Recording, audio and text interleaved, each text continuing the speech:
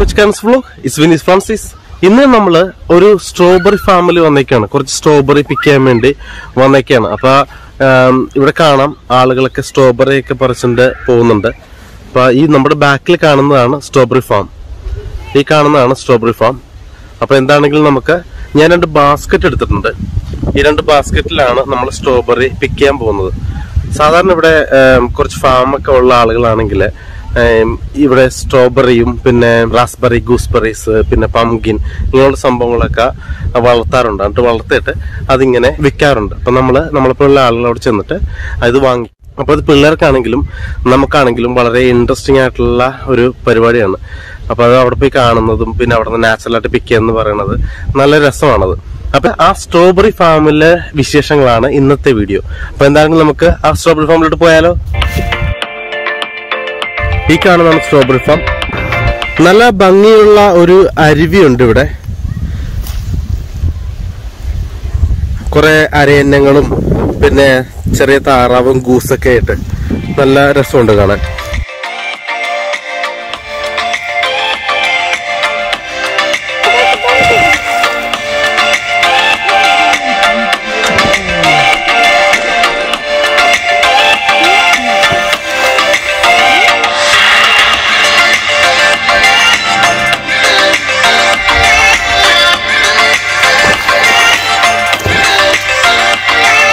പിന്നെ ഇവിടെയാണെങ്കിൽ ഒത്തിരി പമ്പിന്റെ അതായത് മത്തങ്ങയുടെ തൈ നട്ടിട്ടുണ്ട്.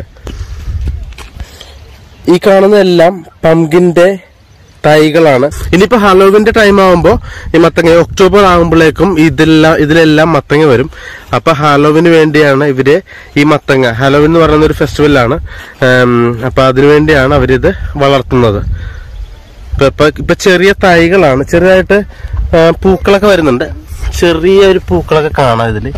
ചെറിയ പൂക്കളൊക്കെ വരുന്നുണ്ട്. അപ്പൊ ഒത്തിരി ഇനി വളരാനുണ്ടത്. അപ്പൊ എന്താണെങ്കിലും ഇത് ചെറിയ ചെറിയ പംകിൻ തൈകൾ. ഒത്തിരി അങ്ങ് കണ്ണെത്താ ദൂരത്ത് കിടക്കുകയാണ് അപ്പൊ എന്താണെങ്കിലും നമുക്ക് ഇനി പംകിൻ പിക്കിങ്ങിന്റെ ഒരു വീഡിയോ നമുക്ക് എടുക്കാം. അടുത്ത ഒക്ടോബർ ഒക്കെ ആകുമ്പോൾ ഇതെല്ലാം റെഡി ആയി കഴിഞ്ഞ് വളർന്ന് സെറ്റപ്പ് ആയി കഴിയുമ്പോൾ നമുക്ക് ഒരു വീഡിയോ കൂടി വന്നെടുക്കാം. ഓക്കെ അപ്പൊ ഇവിടെ കുറെ ആളുകളൊക്കെ ഇങ്ങനെ ഇരിപ്പുണ്ട്. അവിടെ കുറച്ച് പേര് ഇങ്ങനെ ഫിഷ് ചെയ്യുന്നുണ്ട്. അവിടെ ഫിഷ് ചെയ്യുന്നത് കാണാം. കുറച്ച് പേര് അവിടെ ഇരുന്ന് ഫിഷ് ചെയ്യുന്നുണ്ട്. അപ്പൊ നമ്മൾ ഇങ്ങോട്ടാണ് പോകുന്നത്. ഈ കാണുന്നതാണ് സ്ട്രോബെറി ഫാം ഫാം അപ്പൊ നമുക്ക് അങ്ങോട്ട് പോവാം.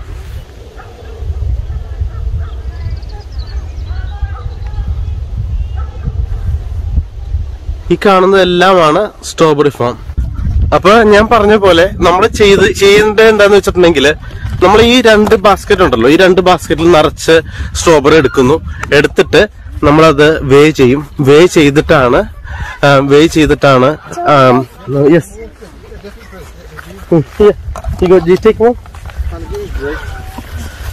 കണ്ടോ പിള്ളേരൊക്കെ സ്ട്രോബെറി പറിച്ചുകൊണ്ട് പോവുകയാണ്. നമ്മുടെ ബാക്കിൽ കാണാൻ സ്ട്രോബെറി ഒക്കെ പറിച്ചുകൊണ്ട് പോവുകയാണ്.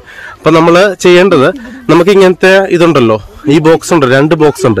അപ്പൊ ഈ രണ്ട് ബോക്സിൽ നമ്മൾ നിറച്ച് സ്ട്രോബെറി പറിക്കും. പറിച്ചിട്ട് അവിടെ കൊണ്ടുപോയി വേ ചെയ്യണം. ആ വേ ചെയ്തിട്ട് അതിന് എത്ര എന്തോരം വെയിറ്റ് ഉണ്ടോ അതിനനുസരിച്ചാണ് നമ്മൾ പേ ചെയ്യേണ്ടത്. അപ്പൊ എന്താണെങ്കിലും നമുക്ക് നമ്മുടെ സ്ട്രോബെറി പിക്കിംഗ് തുടങ്ങാം.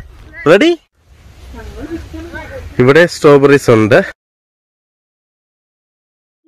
അപ്പൊ ഈ കാണുന്ന മൊത്തം നമ്മുടെ സ്ട്രോബെറി ആണ്. അടിപൊളിയായിട്ട് ഇങ്ങനെ നിൽക്കുകയാണ് വലിയ കാര്യമായിട്ടൊന്നും ഇല്ല കേട്ടോ. ഞാൻ ഓർത്ത് കുറെ ഉണ്ടാവുന്ന ഓർത്ത്. പക്ഷെ അത്ര ഒന്നും ഇല്ല. എന്നാലും നല്ല ഭംഗിയായിട്ടൊക്കെ ഇരിപ്പുണ്ട്. പിന്നെ എനിക്ക് ഏറ്റവും ഇഷ്ടപ്പെട്ട ഒരു കാര്യം എന്ന് പറഞ്ഞിട്ടുണ്ടെങ്കിൽ ഇത് താഴെയല്ല മിക്ക സ്ട്രോബെറി ഫാമിലും പോയി കഴിഞ്ഞാൽ നമുക്ക് കാണാൻ പറ്റുന്നത് താഴെയായിരിക്കും. അതായത് ഫ്ലോറിലായിരിക്കും മിക്കവാറും. അത് മണ്ണിലായിരിക്കും. മണ്ണിലായിരിക്കും മിക്കപ്പോഴും സ്ട്രോബെറി നിൽക്കുന്നത്. പക്ഷെ ഇതെന്ന് വെച്ചിട്ടുണ്ടെങ്കിൽ അവരിങ്ങനെ മേളിലാണ് വെച്ചേക്കണം അതുകൊണ്ട് നമ്മുടെ നടുവൊന്നും ആ, പോകുകയല്ല അല്ലെങ്കിൽ എപ്പോഴും ഇങ്ങനെ കുനിഞ്ഞെടുക്കണം. അപ്പോൾ പണിയായിരിക്കും. അല്ലെങ്കിൽ ആ പേഷ്യൻസിന് പൊക്കി നടുവൊക്കെ പോയിരിക്കുകയാണ്. അപ്പോൾ എന്താണെങ്കിലും കൊള്ളാം. നല്ലൊരു കാര്യമാണ് അവർ ചെയ്തിരിക്കുന്നത്. അപ്പോൾ നമുക്ക് നിന്നുണ്ട് പറിക്കാൻ പറ്റും. പിന്നെ വലിയ കാര്യമായിട്ടൊന്നുമില്ല ആൾക്കാർ നല്ലോണം പറിച്ചിട്ട് പോയിട്ടുണ്ട്. മാക്സിമം ആൾക്കാർ തൂത്ത് പഠിച്ചെടുത്തിട്ടുണ്ട് ഞാൻ അവിടുത്തെ നമ്മളെ മലയാളീസ് ആണ് കുറച്ച് മോശമെന്ന് പക്ഷേ ഇല്ല. അവരും അങ്ങനെയൊക്കെ തന്നെയാണ്. മാക്സിമം സാധനങ്ങളെല്ലാം വാരിക്കൊണ്ട് പോയിട്ടുണ്ട്. പിന്നെ ഞാൻ അവിടുത്തെ ഈ അത്യാവശ്യം നമുക്ക് കുറച്ച് പഴുതൊക്കെ പറിക്കാം. നമുക്ക് എന്തുകൊണ്ടും വേണം കഴിക്കുകയും ചെയ്യാം കേട്ടോ ഇവിടുന്ന്. നമുക്ക് ആവശ്യത്തിന് കൂടുതൽ നമുക്ക് കഴിക്കാം. അപ്പം ഞങ്ങൾ ആവശ്യത്തിന് നല്ല ഭംഗിയായിട്ട് നല്ല പോളിംഗ് ഒക്കെ നടത്തിക്കൊണ്ടിരിക്കുകയാണ്. പിന്നെ ബാക്കിയുള്ള നല്ല പഴുത്തതൊക്കെ അതായത് ഒരു പകുതി പഴുത്തതൊക്കെയാണ് വീട്ടിൽ കൊണ്ടുവന്നത്. കാരണം അല്ലെങ്കിൽ ഭയങ്കരമായിട്ട് അങ്ങ് ചീഞ്ഞു പോകും ഒത്തിരി നാളിരിക്കുമ്പോൾ അപ്പൊ അതുകൊണ്ട് എന്താണെങ്കിലും നമ്മൾ ആ അത്യാവശ്യം ചെറിയ ഒരു പഴുപ്പുള്ള സാധനങ്ങളെല്ലാം പറിച്ചെടുക്കുന്നു. ബാക്കിയുള്ളതെല്ലാം നമ്മളിപ്പോ നമ്മുടെ വാർ നിറച്ച് തിന്നുന്നു. ഇപ്പോ രണ്ട് എല്ലാവരും ഞങ്ങൾ നല്ല മുട്ടൻ അടിയടിച്ചിട്ടിരിക്കുകയാണ്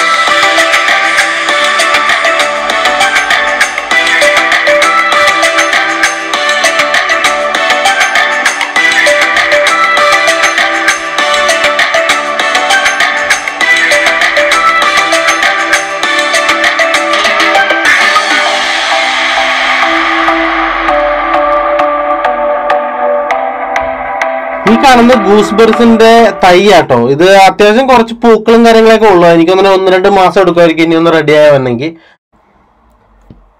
ഈ കോർണറിലായിട്ട് ഞങ്ങൾക്ക് നല്ലൊരു സ്ഥലം കിട്ടിയിട്ടുണ്ട് ഇപ്പം. നല്ല ഭംഗിയായിട്ടൊക്കെ ഒത്തിരി സ്ട്രോബെറീസ് ഉണ്ട്. അപ്പം ഞങ്ങൾ ഇവിടെ നിന്ന് പറിക്കുകയാണ്. മാക്സിമം നമ്മൾ പറിച്ചെടുക്കാം. ബാക്കിയുള്ളത് നമുക്ക് കഴിക്കാം.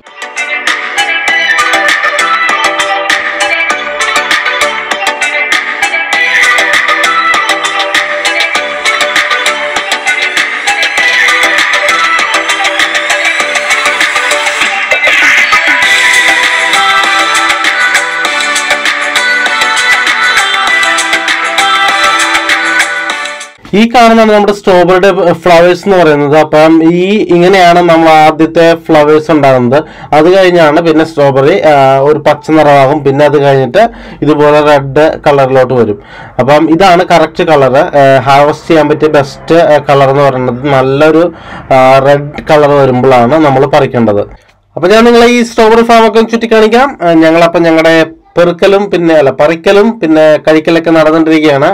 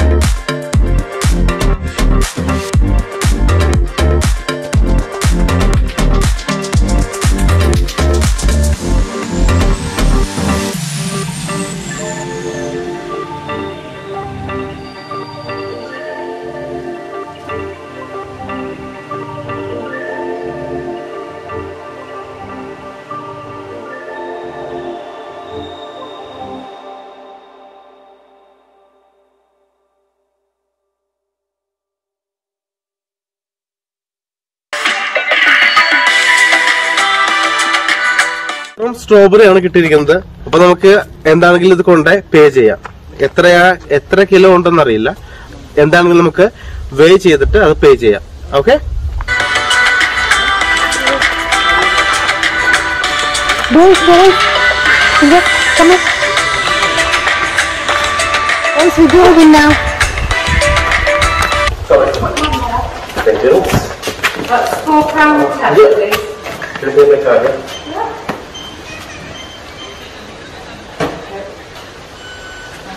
Thank you very much. Do you want to receive? No, it's alright. Okay. Thank you.